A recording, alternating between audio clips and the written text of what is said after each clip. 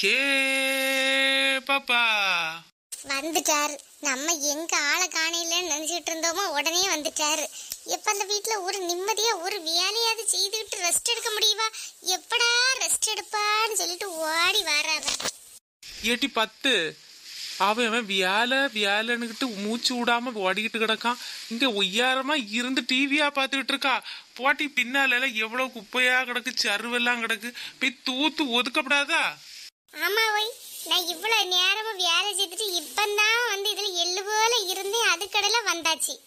நான் எப்ப பார்த்தாலும் நீ இந்த சோபால இருந்து டிவி தானே பார்த்துட்டு இருக்கா பாட்டம் கூத்து மாட்டு ஆமா விடிய கால நாலு மணிக்கு எழும்பி மிக்சிக்கு மிக்சியா கிரைண்டருக்கு கிரைண்டரா வாஷிங் மிஷினுக்கு வாஷிங் மிஷினா வேலை செய்து வாஞ்சி போய் நான் இப்பந்தான் வந்து கஞ்சி தண்ணிய கூட குடிச்சேல எள்ளு குறுக்க சாச்சிட்டு போன்னு வந்து இருந்தேன்.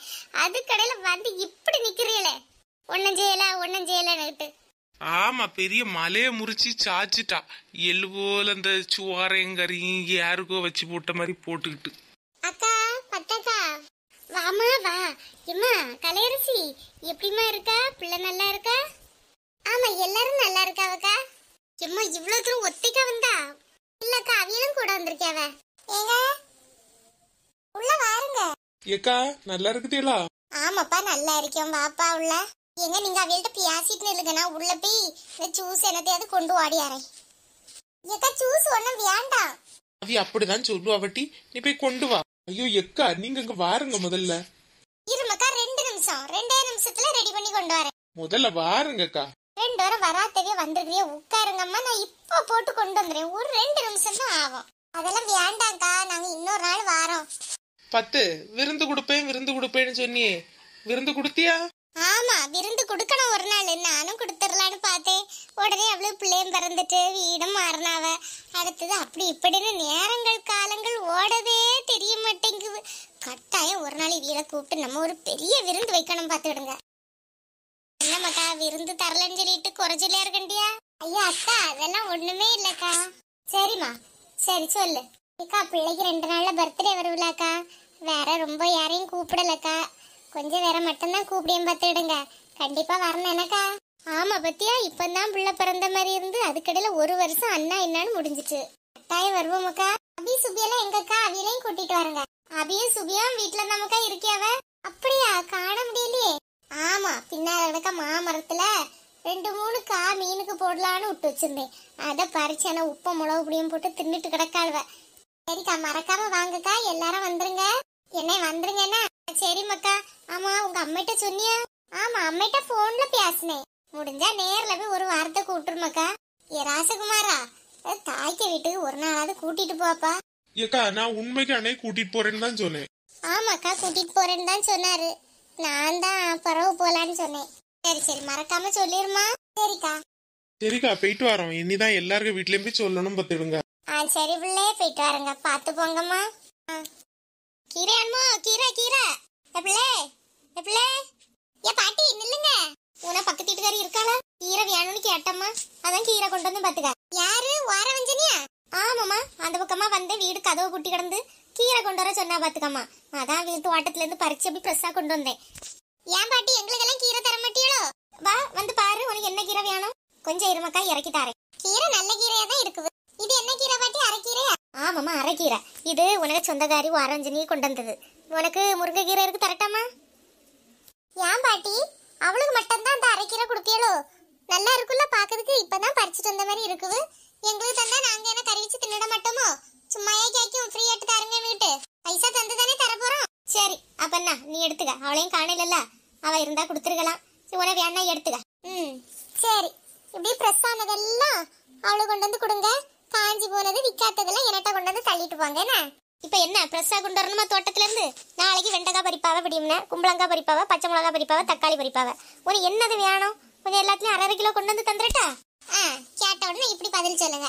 சரி நான் தேவை உள்ள நேரம் கேக்கே இந்த கீரைக்கு வரை எவ்வளவு? கீரை பத்து ரூபாதாம்மா எடுத்துக்க. எப்போ பத்து ரூபாயா? பாட்டி உங்க தோட்டத்துல இருந்து சும்மா தானே பறிச்சிட்டு வாரியா? பத்து ரூபான்னு விலை சொல்றியா?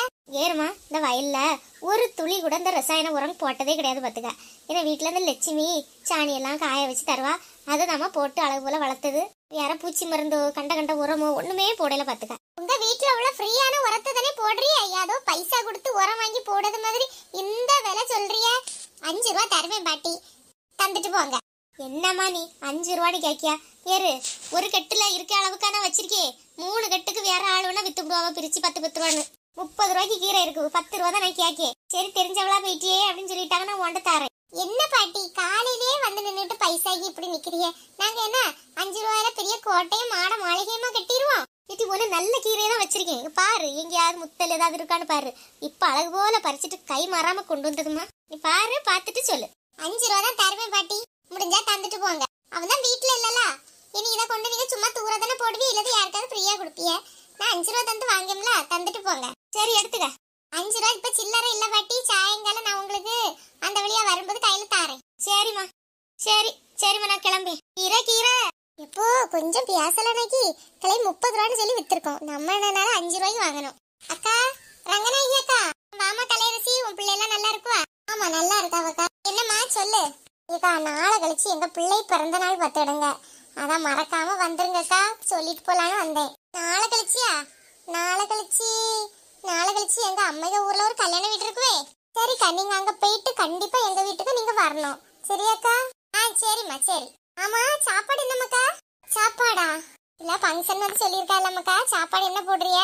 மத்தியான நேரம் ஃபங்க்ஷன் வச்சிருக்கோங்க்கா அதனால சம்பா அரிசி சோறு அப்புறம் பருப்பு சாம்பார் ரசம் மோர் ரெண்டு பாயசம் ஒரு ஏழு கூட்டு அந்த மாதிரி செய்யலாம்னு நினைச்சிருக்கோம்க்கா. ஏன் கேக்குறிய முதல் பிறந்த நாளை கொண்டாடுறிய அதுவும் ஆம்பளை பிள்ளை சிங்க குட்டிக்கு நல்ல ஆடு வெட்டி நல்ல ஒரு மட்டன் பிரியாணி போட்டுற வேண்டியது நமக்கா. ஏக்கா இப்போ ஆடி மாசம்லக்கா நிறைய பேர் வந்து இந்த இறைச்சியெல்லாம் சாப்பிட மாட்டாவ இது நைக்கு கொஞ்சம் வயிறார சாப்பிட்டு போவ பத்தியலா நல்ல வைப்புக்காரன்ட்டு தாங்க சொல்லியிருக்கு. முதல்ல நாங்க சாயங்காலம் ஃபங்க்ஷன் வைக்கலாம்னு தான் நினைச்சோம். பிறகுதான் மத்தியானம்னு முடிவு பண்ணோம்க்கா. மத்தியானம் என் பிள்ளைக்கு மத்தியானம் லீவு தர மாட்டாளே சோறு கூட்டிட்டு வரலானாக்கி அங்க போய் ஆட்டோ பிடிச்சல கூட்டிட்டு வரணும். எங்க மாப்பிள்ள வர வேலைக்கு போயிருவாரு. அக்கா ஞாயிற்றுக்கிழமை லீவு தானேக்கா? சொன்னார ஞாயிற்றுக்கிழமை வருவ பத்தியா? ஆ ஆ சரி சரி சரி. நான் என்ன சாப்பாடு கேட்டேன்னுட்டு? ஒரு மாதிரி தப்பாலாம் எல்லாம் நினைக்காதுங்கம்மா. அது எனக்கு தெரிஞ்ச வைப்புக்கார ஆள் ஒரு ஆள் இருக்காரா? அவரு யாருக்காவது ஃபங்க்ஷன் வந்தா சொல்லுங்க. நான் நல்லா செய்து கொடுப்பேன்னு சொன்னாவோ பார்த்துக்க அதனால தான் கேட்டேன். இது முதல்ல சொல்லியிருக்கலாம்லக்கா. நாங்க யாரடா கிடைப்பான்னுட்டு கொஞ்சம் தேடி தேடி தெரிஞ்சோம் பார்த்துடுங்கக்கா. ஊர் ஃபுல்லாக சொல்லியிருக்கிறியோ? இல்லைக்கா ரொம்ப ஒன்றும் நீ பெருசாக எடுக்கல. இப்போ தெரிஞ்சவங்க மட்டும்தான் பார்த்துடுங்க. சரி சரி சரி சரி மக்கா அதுதான் கொள்ளலாம் பார்த்துக்க. இப்போ எல்லாம் கவர்லன்னு சொல்லிட்டு பைசா கொடுக்கியாவ? கொடுத்துட்டு கவருக்குள்ள பத்து ரூபாய் அஞ்சு ரூபாய் வைக்காவம்மா போன வர எங்கள் மாமாய்க்கு முழு கல்யாணம் பார்த்துக்க. எல்லாரும் இந்த மொய் எழுதுங்க மொய் எழுதுங்கன்னு சொல்லியிருந்தாவ. எங்கள் மாமா தான் பெரிய பண்ணையார் மாதிரி மொய் ஒன்றும் வேண்டாம் எழுதாண்டாம். பாரதிய கையில ஏதாவது அன்பளிப்பா கொடுத்துட்டு போட்டேன்னு சொல்லிட்டாங்க. கடைசியில சாயங்காலம் ஃபங்க்ஷன் எல்லாம் முடிஞ்ச பிறகு கவரை நாங்க இருந்து பிரிச்சு பாக்கியும். பேர் எழுதாத கவருக்குள்ள அஞ்சு ரூபாயும் பத்து ரூபாயும் இருக்குமா? ஒரு கவருக்குள்ள வெறும் கவரை மடிச்சு உள்ள வச்சு பைசாயை கொடுத்த போல கொடுத்துட்டு போயிட்டாங்க. ஒவ்வொரு ஆளும் ஒத்தைக்காம வந்து திங்குவு. ஒரு குடும்பமே அஞ்சு பேர் ஏழு பேர்னு வந்து தின்னுக்கிட்டு வீட்டுக்கு போகும்போது நின்று வாளியெல்லாம் அள்ளிக்கிட்டும் போறாவம்மா. இப்படி எல்லாம் பத்து ரூபாயும் இருபது ரூபாயும் கொடுத்துக்கிட்டாம போனோம். என்ன காலம் பத்தி அம்மா எந்த காலத்துல இருக்கோன்னு தெரியவா ஏக்கா ஃபங்க்ஷன் எல்லாம் வைக்கிறது ஆளுகிட்ட ஒரு அன்பா பாசமா இருக்கணும்னு வைக்கிது பைசா எதிர்பார்த்தெல்லாம் நான் வைக்கலக்கா. இல்ல நாட்டு நடப்பு சொல்லியம்மா வேற ஒண்ணும் இல்ல தப்பா நினைச்சுடாதுங்க கலையரசி சொல்லி என்ன தப்பா நினைக்க கூடாது ஏன்னா மாப்பிள்ளைக்கு தம்பி பொண்டாட்டி இருக்கா பத்தியா? ஏக்கா இனிதாங்க்கா ஒவ்வொரு ஆளுகிட்டையும் போய் சொல்லணும்னு யாராவுக்கா நாங்க போயிட்டு வரோம்க்கா. அதான் எனக்கு கூட சுத்துவால நீல கலர் சுடுதாரையும் போட்டுட்டு ஒருத்தி. ஆமாக்கா தெரியும்க்கா. ஒரு கல்யாண வீடே விடமாட்டா பார்த்துக்க எல்லா கல்யாண வீடு வரும்போதும் வீட்டில் அடுப்பு பற்ற வைக்க மாட்டா. பாத்திரங்களை மட்டும் படபடன்னு கழுவிடுவா. ஒரு நாலு தூக்குவாளி ஒரு ரெண்டு மூணு பெரிய பெரிய டிஃபன் பாக்ஸ் பத்துக்க. டிஃபன் பாக்ஸ் இல்ல. என்ன சொல்லுவ? இந்த பெரிய தூக்குவாளிக்கு மூடி இருக்கும் பத்தியா? அந்த மாதிரி பெரிய பெரிய பாத்திரம். எல்லாத்தையும் அழகா ஒரு பைக்குள்ள வச்சு அப்படியே எந்த வீடு ஃபங்க்ஷனோ அந்த வீட்டுக்கு பக்கத்துல உள்ள வீட்டில் கொண்டு போய் வச்சிருவா பார்த்துக்க போகும்போது எடுத்துட்டு போறேன்னு. கடைசியில எல்லாம் நல்லா தின்னுன்னு நல்லா தின்னுக்கிட்டு கடைசியில் வார நேரத்தில் நாலு வாளி கொண்டு போயிருக்கா பத்தியா பருப்பு சாம்பார் ரசம் பாயசம்னு. ஒன்று விடாமல் அள்ளிட்டு வந்துருவாமா? அங்கே இருக்க வாழை இலையில அப்படி கூட்ட அள்ளி அது பெரிய பாத்திரத்தில் வச்சு கொண்டு வந்துருவா பார்த்துக்க கடைசியில் கொடுக்கும்போது எவ்வளோ ரூபா கொடுத்தான்னு கேட்டால் நூறுரூவா கொடுத்தேன்னு சொல்லுவா. நூறுரூவாயாமா வைப்பா? இவா எல்லாம் பத்து ரூபா கேஸ் ஆகும். பத்து ரூபாயை உள்ள வச்சு கொடுத்துக்கிட்டு வண்டி வண்டியாக சாப்பாட்டை அள்ளிட்டு வரணும். நான் சொல்லிட்டேன்னு வெளியே எங்கேயும் யார்ட்டையும் சொல்லிவிடாதம்மா. மீதி வந்த ஆட்களே எடுத்துட்டு தானக்கா போவாவ இல்ல இவ பதிவா வச்சிருக்கியான்னு சொன்னேன் எந்த ஃபங்க்ஷன்லயும் இவ பதிவாட்டி இந்த பழக்கத்தை தான் வச்சிருக்கியா? நான் எல்லாம் நான் கல்யாண வீட்டோடு போறேன். பெய் அந்த பந்தியில இருந்துட்டு ஒரே ஒரு படி வாயில வைப்பேம்மா. அதுக்குள்ள வயிறு நிறைஞ்சு போயிடும் பார்த்துக்க. இந்த பருப்பு மட்டும் எலுவோல வாங்கி ஒரு ரெண்டு வாய் வைப்பேன். கடைசியில ரசம் எப்படா ஊத்துவாவன்னு காவலுக்கு இருந்து தின்னுக்கிட்டு வந்துடும் பார்த்துக்க. எம்மா எங்க இருந்து தான் வயிறை வாங்கிட்டு வருவாளோ தெரியாது. சுவாத்துக்கு இந்த என்னது பருப்புக்கு. பருப்புக்கு கொஞ்சம் சோறு வாங்குவாழ்வ கொஞ்சமா வாங்குவாழ்வ அவனும் வச்சுட்டு போனோன்னு ஒருக்கா கூட வைங்க அப்படின்னு சொல்லிட்டு வாங்காழ்வ கறி ஊத்திட்டு போனா கொஞ்சம் கூட ஊத்துங்கன்னு சொல்லி கேட்கா பத்துக்க அடுத்தது சாம்பார். சாம்பார் சோறு கொண்டுருவானு பத்தியா? அந்த நேரத்துலயும் வைங்க வைங்கன்னுட்டு கேட்டு கேட்டு கேட்டு அதுக்கடல எப்படிதான் வலிச்சு அவ்வளோ தெரியலைம்மா. ஒரு கூட்டம் விடியாயில பத்துக்க நம்மளுக்கு எங்க அம்மா வயிறு இருக்குது. போன உடனே ஒரு வாய் வார்த்தையே நம்மளுக்கு நிறைஞ்சிருவோமா ஏம்மா உண்டு நிறையதாம்மா நிறையுது கண்டுலையாம நிறையணும். ஒரே ஒரு நாள் என சொந்தக்காரவிய வற்புறுத்தி தந்து விட்டாவ ஏக்கா கொண்டு போயிருங்க உங்க பிள்ளைக்கு கொடுங்க காணுட்டு அதுலயும் பங்கு பத்திட்டாமா கொண்டான்னு கேட்டு? அவள்கிட்ட சொல்லிட்டியா? இல்லக்கா இனிமேதான் சொல்லணும். சரிக்கா நாங்க இனி கிளம்பியோம். நான் சொன்னேன்னு மட்டும் சொல்லிவிடாதுங்க. கூப்பிடாது பார்த்து கூப்பிடுங்க. பிறகு நீங்களே கொஞ்சம் பேர் தான் கூப்பிட்டுருக்கிறீங்க. அப்புறம் கணக்காட்டு சாப்பாடெல்லாம் இருக்கும். ஆளுக்கு முந்தி ஆளோ தின்னதுனால அழுகிட்டு போனாலும் போவா. பார்த்து எடுத்து கவனமா இருந்துடுங்க சொல்லிட்டேன். நம்மளுக்கு சுட்டு போட்டாலும் அந்த எச்சியில பிறக்கிறது வராதுமா சரிக்கா நாங்க இனி கிளம்பு அக்கா என்னம்மா? அக்கா உங்க வீட்டுக்கு தான் அடுத்தால போனோம்க்கா. நீங்க இங்க நிக்கிறிய? யார்கிட்ட பேசியா?